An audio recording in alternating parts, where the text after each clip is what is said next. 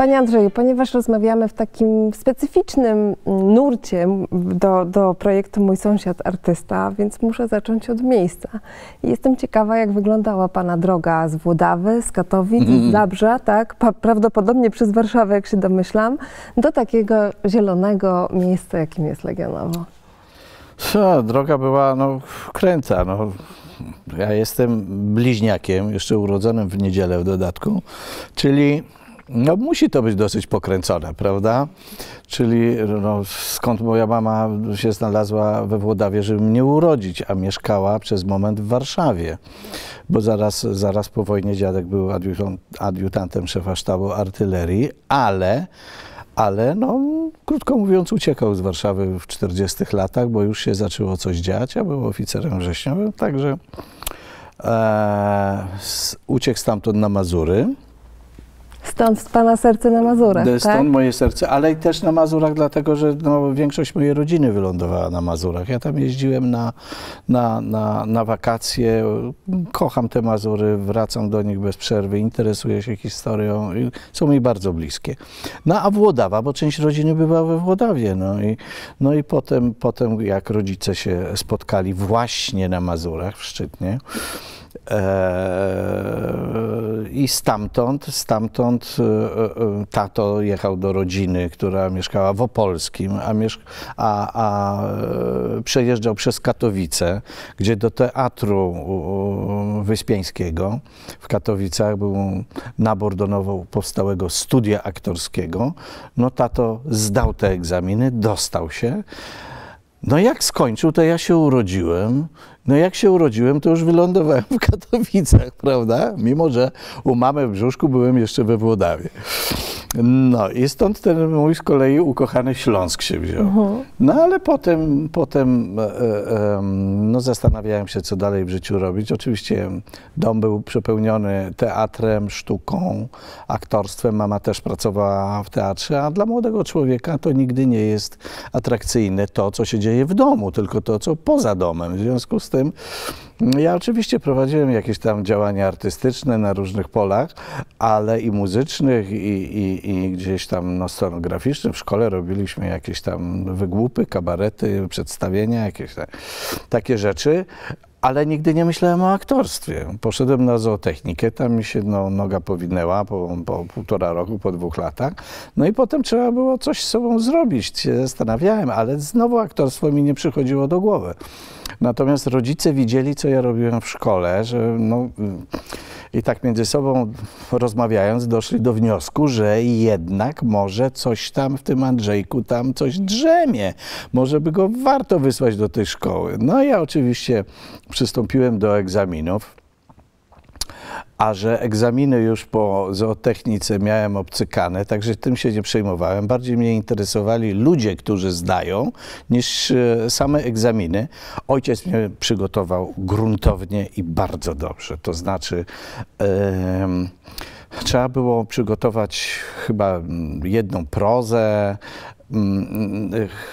trzy wiersze, dwie piosenki, no to ja miałem cztery czy pięć prus, 17 e, utworów łącznie z, z tak, ojciec się prześliznął od średniowiecza po współczesną poezję i literaturę, także przedstawiałem komisji cały wachlarz.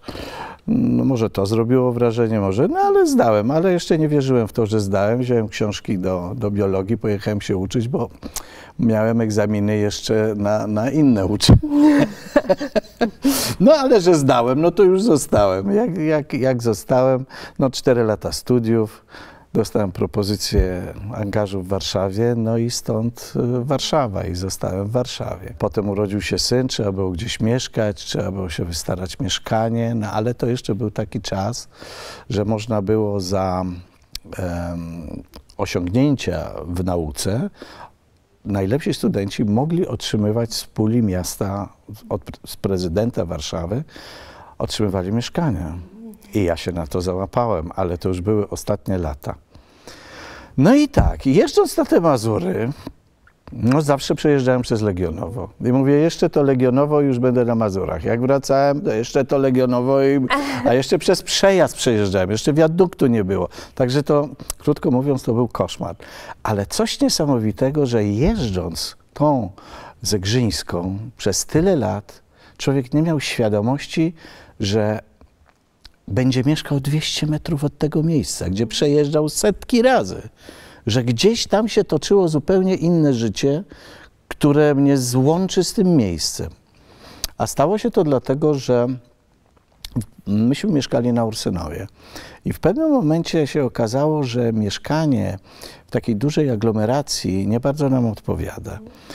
No a że ca, cała, ca, na Ursynowie ten cały dom nazywany przez wszystkich mieszkańców popularnie, popularnie kamienicą, mhm. bo wszyscy byli na ty, bo to były takie, takie, takie czasy, gdzie no, ludzie się bardzo z sobą no, jednoczyli, bo to było przed stanem wojennym jeszcze, prawda? Czyli ten stan wojenny jakby zacieśnił relacje.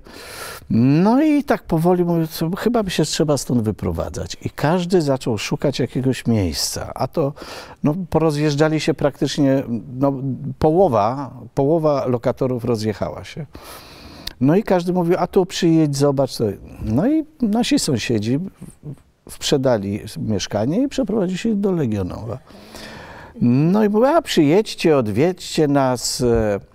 No i myśmy przyjechali, to była zima. Zobaczyliśmy ten bukowiec cudowny.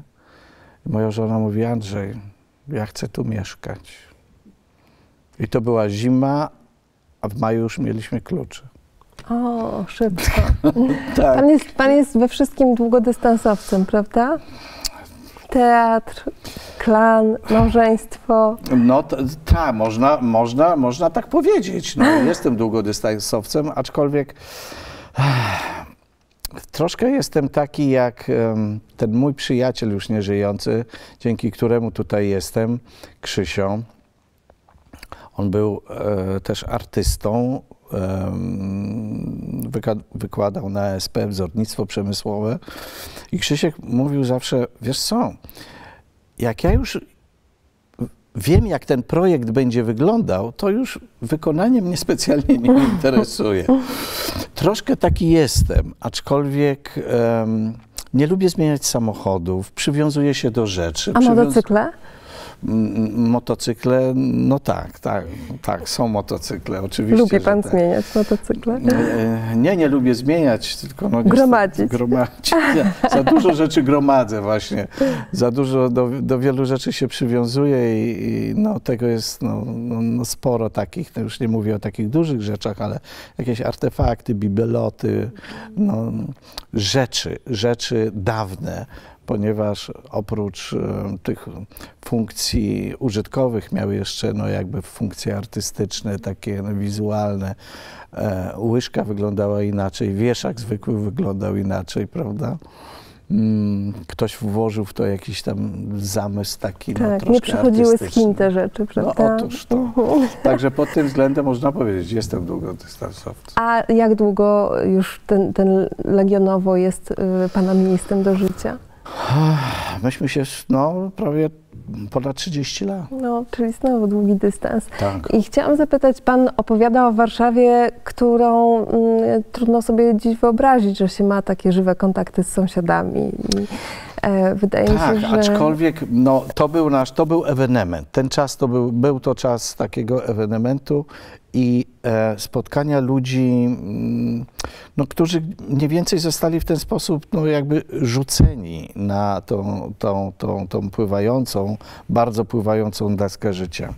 I wiadomo było, że to się, to się nie utrzyma. Ona gdzieś tam w którymś kierunku mm, będzie dryfowała. To nie jest jakby stałe, stałe osadzenie, prawda? Ta nasza, tak jak powiedziałem, kamienica może troszkę różniła się od innych, gdzie ludzie byli pozamykani.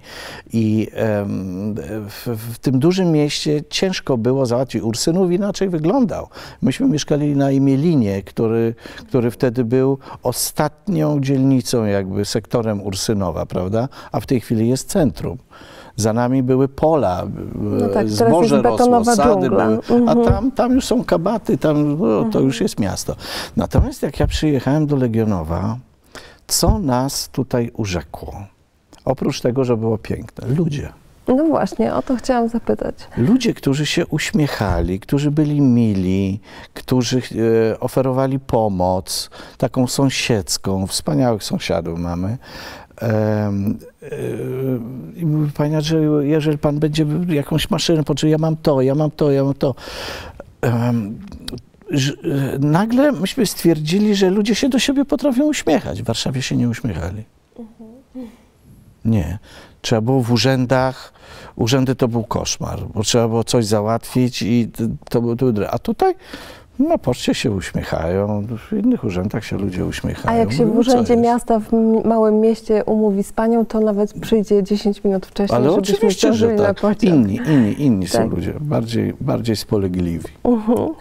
Em, Jak y, myślę o panu jako o aktorze, to pan ma taką właściwość, myślę, podej- takie, taka jest moja hipoteza, że to wynika z takiego pana luzu i z tego, że pan tak za wszelką cenę nie chciał tego, bo pana rola i pana bycie na scenie i, i, w, i w, na ekranie jest tak, pan się stapia ze, ze swoją postacią i jest w tym pan tak naturalny, że jestem przekonana, że Polacy uważają, że y, pana postać z klanu to jest właśnie jeden do jednego pan. No I- oczywiście są jakieś, e, jakieś wzorce, ale no, to należy jakby do sztuki aktorskiej, prawda? Żeby dogłębnie jakby postać em, stworzyć z tych małych literek pod tytułem scenariusz. E, Był jeszcze taki epizod, który przeżyłem, mianowicie e, tato, który był e, e, wtedy, kiedy ja miałem zdawać do szkoły teatralnej, był aktorem teatru w Zabrzu. Moja mama była tam kierownikiem sekretariatu.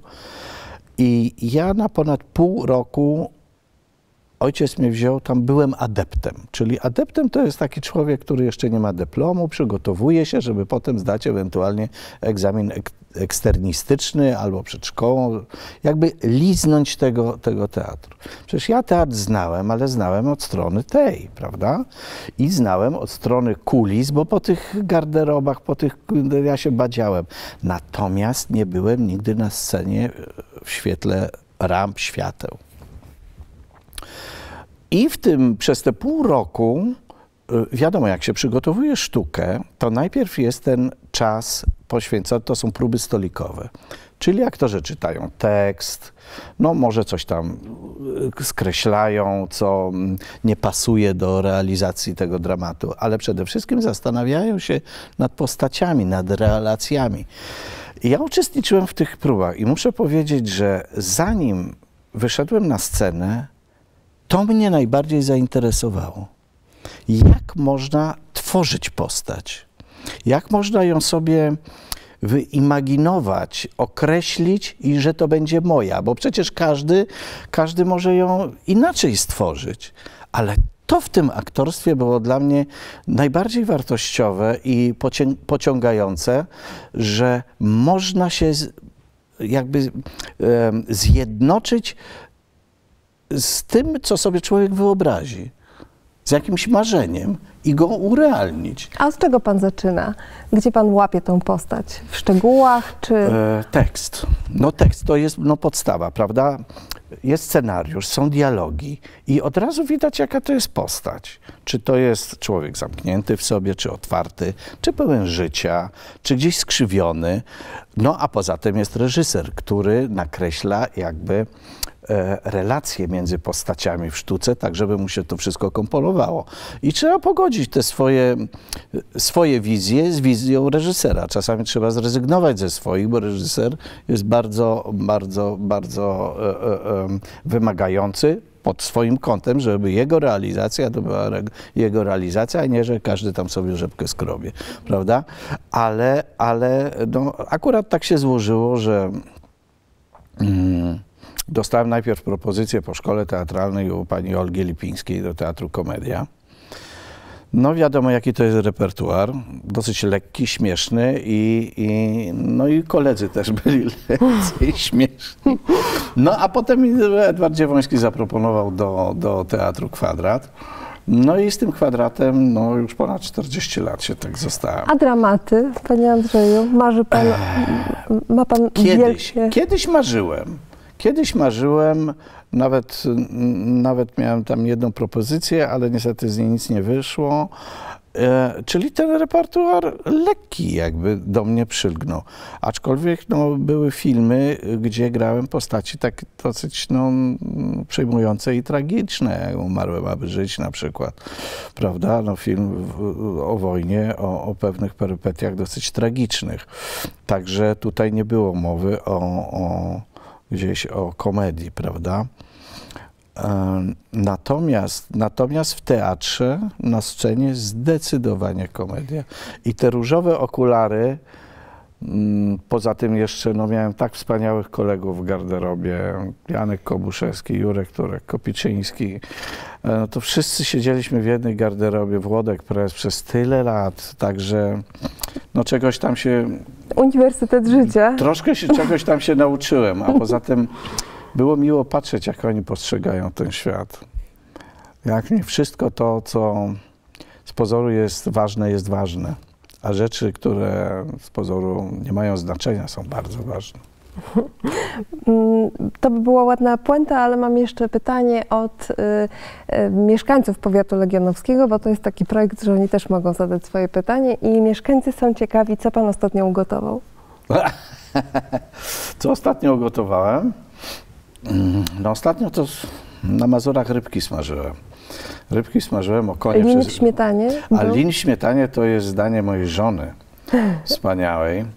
E, danie, no, które się bardzo, bardzo ludzie cenią. No i, i, no i rzeczywiście jest bardzo smaczne. Natomiast mm, e, no może nie ostatnio, ale przy, ostatnio już jakby dopieściłem swoją wołowinę po burgundzku i uważam, że jest niezła. Czyli mięsa. Tak, zdecydowanie. Um, chciałam jeszcze zapytać, bo tak mnie pan, rozbudził pan moją wyobraźnię tą garderobą. E, gdyby pan mógł powiedzieć o takiej swojej najważniejszej lekcji, której ktoś panu udzielił, może to jest lekcja życiowa, a może zawodowa, aktorska, a może to jest y, ta sama lekcja? Trudno powiedzieć o lek jednej lekcji, bo to człowiek no, w tym zawodzie tych lekcji dostaje bardzo dużo, bo to jest zawód pełen pokory, a jednocześnie sprawiający czasami bardzo dużą przykrość. I sobie samemu, i, i innym. Czasami coś nie wychodzi, czasami e, ta gwiazda, która świeci i sprzyja rozwojowi, gdzieś zachodzi, nie ma jej, wtedy szukamy pomocy. E, I tak jak Edward Dziewoński zawsze mówił, nie ma takiej rury, której by nie można odetkać, dziecinki moje kochane, także nie przyjmujcie się, e, idźcie dalej swoją drogą. Natomiast Łomnicki który, który był moim rektorem w szkole teatralnej, zawsze mówił: Słuchajcie, my tutaj was niczego nie nauczymy. My wam tylko możemy wskazać drogę, a resztę to już wszyscy, reszta to już w waszych rękach. Także e, tak by morał z tych, z tych dwóch moich tam przypowiastek chyba jest taki, żeby oczywiście uczyć się i patrzeć i czerpać, ale mieć też i swój rozum. Robić i, swoje. I robić swoje. Róbmy swoje.